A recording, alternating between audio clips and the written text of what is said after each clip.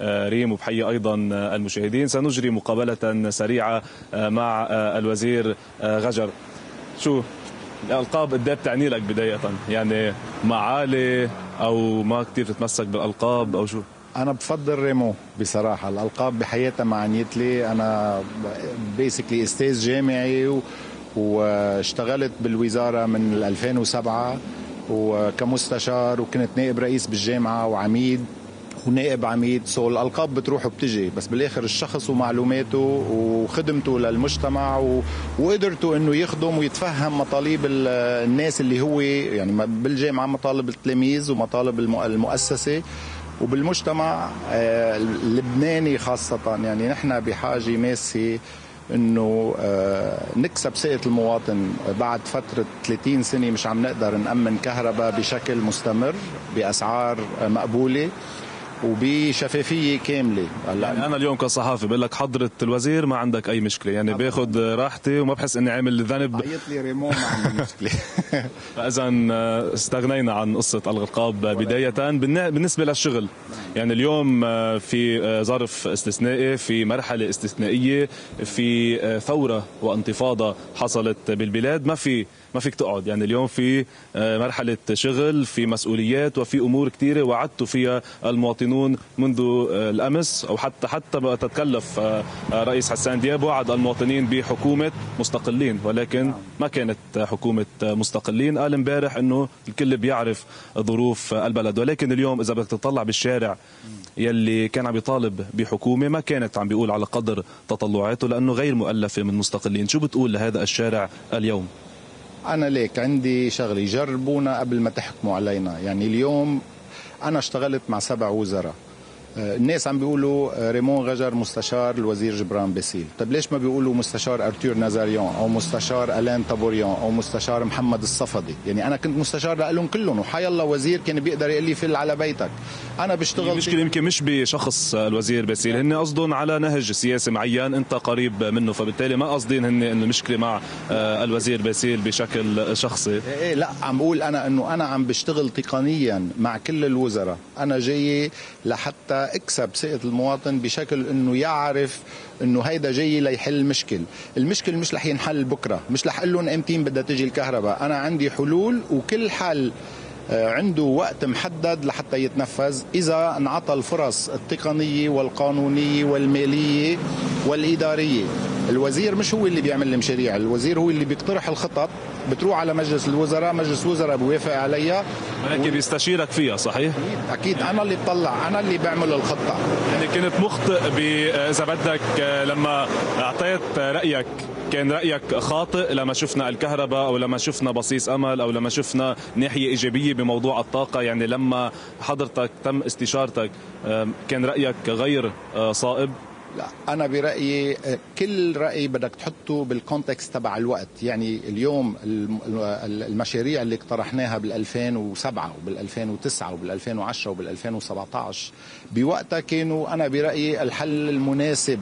لهيدا الوقت. اليوم نحن ببلد مفلس في عنا مشكلة مالية الحلول مش رح نستنبط حلول من الصفر. يعني نحن اليوم مش إنجاز إنك تقول بدي أجيب كهرباء. كل العالم عندها كهرباء أوكي؟ المشكلة إنك تظبط المشروع بشكل إنه يتلائم مع الوضع اللبناني. يكون شفاف لأنك أنت عم تستعمل مال عام مش مال خاص.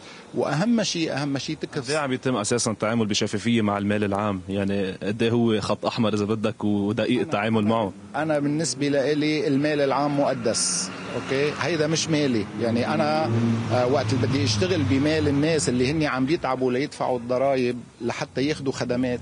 معناتها أنا بدي أعمل المستحيل وبدي طبق القانون. أنا القانون بيقول لي اعمل هيك بدي أعمل هيك. مجلس الوزراء بياخذ قرارات بيقول لي بهيدي الحالة بدنا نعمل هيدا الشيء بهالطريقة لأنه بالظروف المعينة. اليوم أنت بتعرف في عنا وضع مالي كتير استثنائي وفي عنا ضرورة أنه يكون نستقطب أموال من الخارج من خلال المؤسسات الدولية وإلا ما حدا بيجيني ما حدا حيجي يستثمر مليار دولار بمعمل كهرباء بمؤسسة أصلا هي مش قادرة تجبي لحتى بس تشتري فيول.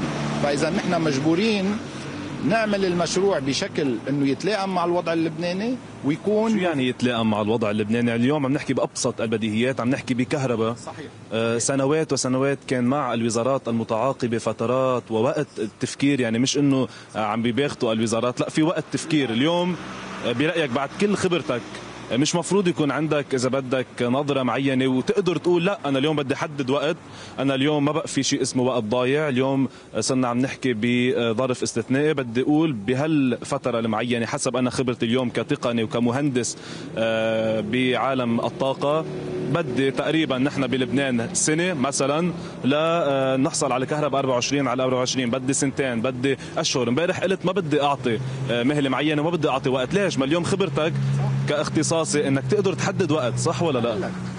يعني افترض رح أعطيك example كثير بسيط. اليوم إذا بدي أعمل معمل كهرباء المعمل الكهرباء بيتطلب تحضير دفتر شروط إجراء مناقصة أه، تحضير العقد يعني تعمل négociation أه، للعقد وتبلش ال construction اللي هي بتاخذ حوالي سنتين للسنتين ونص. أوكي؟ so الوقت لتعمل معمل ببلد يعني اليوم إذا بتعمل هيدا بأمريكا أو بكندا هيدا الوقت المطلوب هو حوالي ثلاث سنين لأربع سنين ونص حسب كبر المعمل وحسب المشاكل الموجودة بالبلد من environmental mitigation و concerns وبدك تاخذ رأي الشعب كمان إذا مقبول هيدا المعمل ولا لا. حضرتك الوزير بس في شغلة معينة آه، كرمال تكون واضحة للمشاهدين بدك نبلش مع حضرتك نعد من امبارح من وقت ما آه، حضرتك صرت صرت وزير الطاقة ولا بدي بلش عد معك؟ من 2007 يعني بدي عد تراكم خبرات وتراكم سنوات أنت موجود فيها بدهاليز ويمكن بكواليس آه، عالم وزارة الطاقة. ولا بدك بلش عد معك من امبارح لأنه بيختلف كثير آه، نظرة المتلقي وحتى توقعاته من حضرتك. قد إيه بده يتوقع منك وقد إيه بده يعلي سقف المعايير. بتختلف حسب من وين بدنا نبلش نعد من حضرتك. اللي ج... اللي قلته هلأ من شوي هذا ما بيتغير ومش حيتغير. يعني اليوم ما فيك تع... يعني to snap your fingers وتقول بكرة حي... حيخلق معمل. هيدا المعمل. إذا عملته بلبنان ولا عملته بغير لبنان حياخذ هيدا الوقت. بلبنان يمكن ياخذ أكثر وأخذ أكثر لسبب إنه اليوم إذا بتعمل مناقصة ما حدا بيجي بيقول لك خيي ليش بدي أعمل معمل بلبنان؟ ما لبنان مفلس. يعني أنا بدي أقدر غطي يعني في حدا بده يجي يقول هيدي الدولة قادرة أن تدفع حقه للمعمل على 20 سنة؟ معناتها الشغل المط... الإداري وال... وال... وال... والقانوني المتطلب من من هيدا المشروع هو أكثر بشوي من معمل معمول ببلد هو ما عنده مشكلة مالية أوكي؟ فإذا يعني هيدا كان رأيي من عشر سنين وهو رأيي اليوم. يعني اليوم قبل إذا اليوم بدنا نعمل معامل القطاع الخاص بيملكها أو شراكة مع القطاع العام أو القطاع العام بيملكها. هيدا المعمل مش مش حينعمل بسنة. مستحيل. أنا بأكد لك إنه ما في معمل حينعمل بسنة.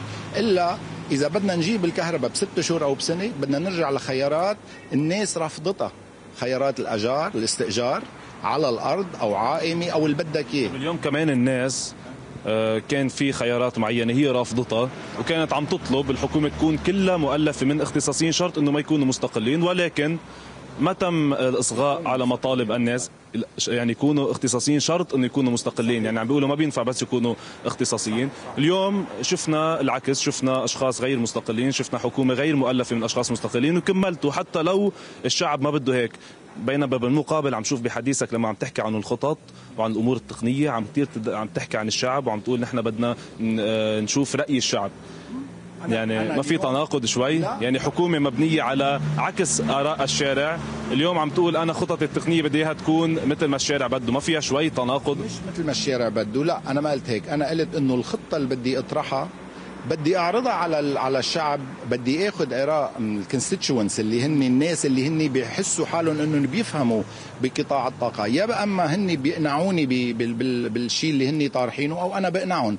يعني اليوم مش رح مش رح أستنبط شيء جديد أوكي؟ مش معنى أنا أنا بحس حالي أكثر إنسان مستقل لأنه أنا كل الوزراء اللي اشتغلت معهم هن بيعرفوا ولازم تحكوهم. أنا برأيي أفضل شيء إنه تحكوهم تقولوا مين ريمون غجر؟ شو كان يطرح علينا؟ إذا أنا شيء مش مقتنع فيه ولا ممكن أطرحه. حضرتك وزير خلص وقتنا بس بدي يعني سؤالين بشكل كثير سريع. صدقا شي مرة تم استشارتك بموضوع معين.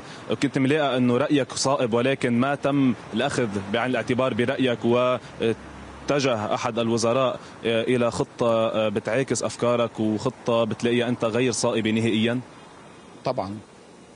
طبعا. صارت صارت. أنا عندي رأي تقني بحت. اليوم حضرتك إذا عندك آراء صائب وأحد الوزراء أو أحد المعنيين اتصل فيك وقال لك ما تعمل هذا الرأي وخذ برايي الخاطئ هل ممكن إنه يكون عندك مناعة تقوى على الضغط السياسي أم لا؟ إذا أنا رأيي مش مرحب به أنا مش رح آخذ رأي تاني وأفضل لي إني أستقيل من إني أبقى بحكومة بس لحتى انفذ مشاريع أنا مش مقتنع فيها.